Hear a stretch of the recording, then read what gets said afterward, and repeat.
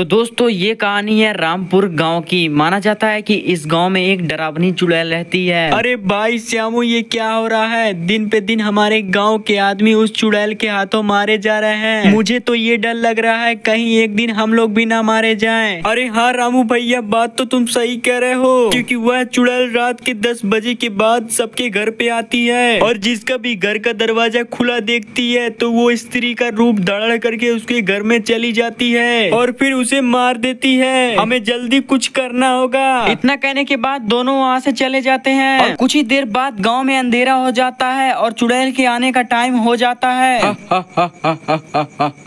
अरे चलो रात के दस तो बज चुके हैं। चलो अब मैं उस गाँव में चलती हूँ। अरे लगता है कि मेरी डर की वजह से आज गाँव वाले फिर से जल्दी सो गए हैं। लेकिन चलो कोई बात नहीं कोई मुर्गा तो ज़रूर मिलेगा।